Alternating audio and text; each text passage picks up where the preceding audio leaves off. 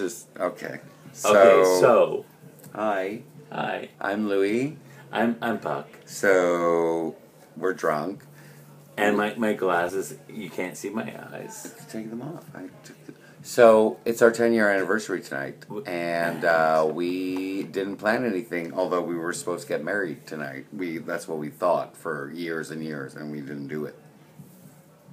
Instead, we went out and got drunk. But now that we're here, And do you want to get married?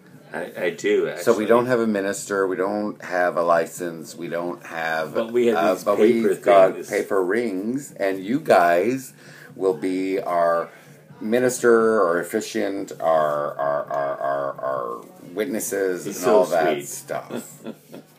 so Buck, Yes, Louis. show me your hand, Okay. the, the right, the left hand. Oh, last one. Okay. So with this, should I take this ring off? I should. our engagement ring. Yes. with this paper ring, Ivy wed, and I'm like madly in love with you, and so very happy that uh, we've done 10 years and I can do another 40 if I survive.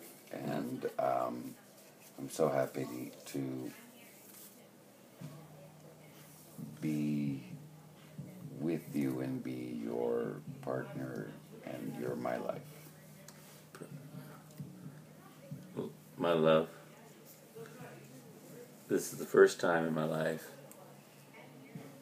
that I can say I love you, and that I can say, um, no matter what we do, I know you're there for me.